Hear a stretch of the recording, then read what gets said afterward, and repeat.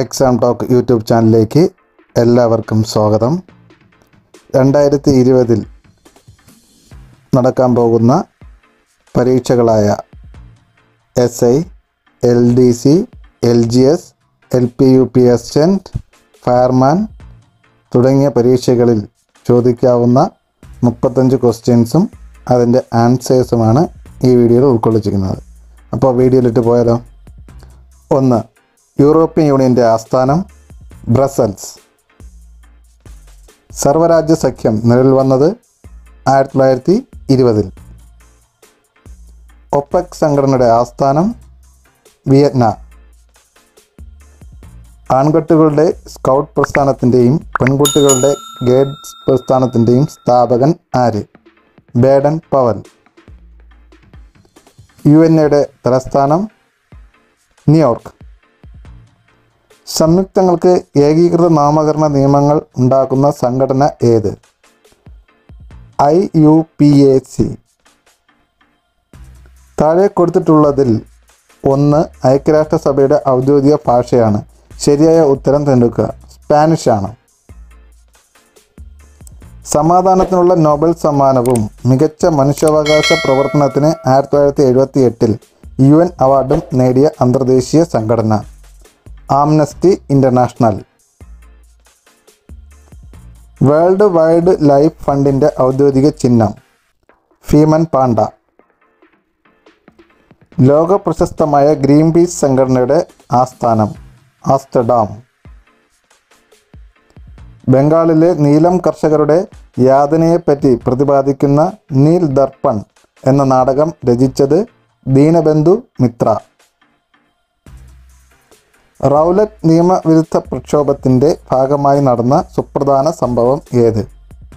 ജാലിയൻ വാലാബാഗ് കൂട്ടക്കൊല. കേരളത്തിൽ സേവനാവകാശ നിയമം നിലവിൽ വന്ന വർഷം രണ്ടായിരത്തി പന്ത്രണ്ട് നവംബർ ഒന്ന്. കേരളത്തിലെ ആദ്യ സോളാർ പാർക്ക് ഏത് ജില്ലയിലാണ് നിലവിൽ വന്നത് കാസർഗോഡ് രണ്ടായിരത്തി ഇരുപതിലെ യുഫേഫ ഫുട്ബോൾ ചാമ്പ്യൻസ് ലീഗ് കിരീടം നേടിയത് ബയോൺ മ്യൂണിക് പി എസ് ജിയും ബയോൺ മ്യൂണിക്കുമായിട്ടായിരുന്നു ഫൈനൽ. എഫ് വൺ മത്സരങ്ങളിൽ ഏറ്റവും കൂടുതൽ ദൂരം കാർ ഓടിച്ച താരമെന്ന റെക്കോർഡ് കരസ്ഥമാക്കിയത് കിമി റൈക്കോൺ. ഇന്ത്യയിലെ ഏറ്റവും നീളം കൂടിയ റോപ്പ് വേ ഏത് സംസ്ഥാനത്താണ് സ്ഥിതി ചെയ്യുന്നത്? ആസാം. തെരുവ് വിളക്കുകളിൽ എൽ ഇ ഡി ലൈറ്റുകൾ സ്ഥാപിക്കുന്നതിനായി കെ എസ് ഇ ബി നടപ്പിലാക്കുന്ന പദ്ധതി. നിലാവ്. പൊന്മുടി ഡാം സ്ഥിതി ചെയ്യുന്ന നദി പന്നിയാർ ഇടുക്കി ജില്ലയിലാണ്. യൂറോപ്യന്മാരുടെ കാലത്ത് ഇന്ത്യയിലെ ഇംഗ്ലീഷ് ചാനൽ എന്ന് വിളിക്കപ്പെട്ട നദി മയ്യഴിപ്പുഴ. മയ്യഴിപ്പുഴയുടെ ഉത്ഭവസ്ഥാനം വയനാട്. തലശ്ശേരിയെയും മാഹിയെയും വേർതിരിക്കുന്ന പുഴ മയ്യഴിപ്പുഴ. നിളയുടെ കഥാകാരൻ എന്നറിയപ്പെടുന്നത് എം ഡി വാസുദേവൻ നായർ. ഭാരതപ്പുഴ കടലിനോട് ചേരുന്ന ഭാഗം പൊന്നാനി. ഗാന്ധിജി നെഹ്റു ലാൽ ബഹദൂർ ശാസ്ത്രി എന്നിവരുടെ ചിതാഭസ്മം ഭാരതപ്പുഴയിൽ നിക്ഷേപിച്ച സ്ഥലം തിരുനാവായ. കുഞ്ചൻ നമ്പ്യാരുടെ ജന്മസ്ഥലമായ കിള്ളിക്കുറിച്ചി മംഗലം സ്ഥിതി ചെയ്യുന്ന നദീതീരം ഭാരതപ്പുഴ. നിലമ്പൂരിലെ തേക്കിൻ കാടുകളിലൂടെ ഒഴുകുന്ന നദി ചാലിയാർ. സൈലന്റ് വാലി വാലിയിലൂടെ ഒഴുകുന്ന നദി കുന്തിപ്പുഴ. ഇരവികുളം മറയൂർ ചിന്നാർ വന്യജീവി സങ്കേതങ്ങൾ സങ്കേതങ്ങളിലൂടെ ഒഴുകുന്ന നദി പാമ്പാർ. വില്യം ലോകന്റെ മലബാർ മാനുവലിൽ പ്രതിപാദിച്ചിരിക്കുന്ന നദി കോരപ്പുഴ.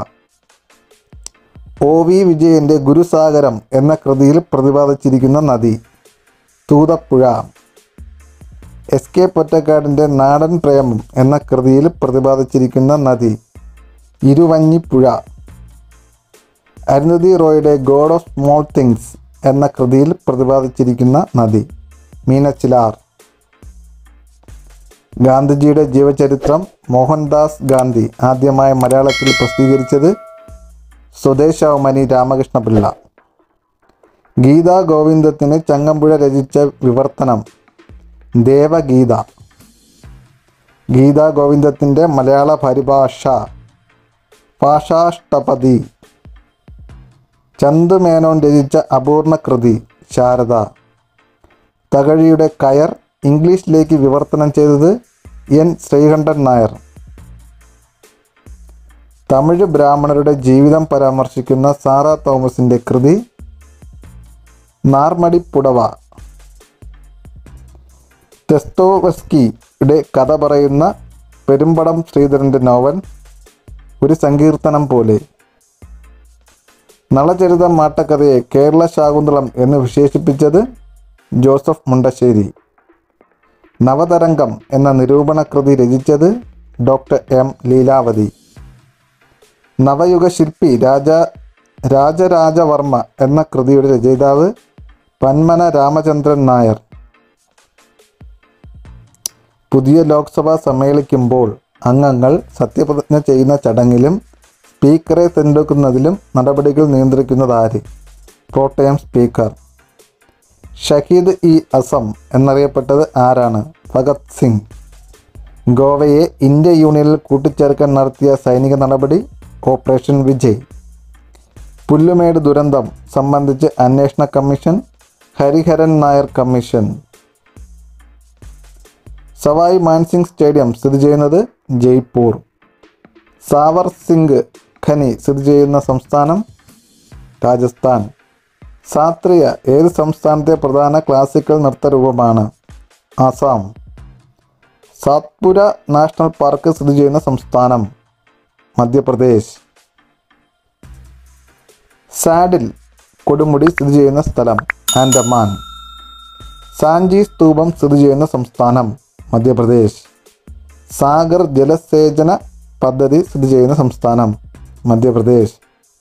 സാക്കർ റോസ് ഗാർഡൻ സ്ഥിതി ചെയ്യുന്നത് ചണ്ഡീഗഡ്.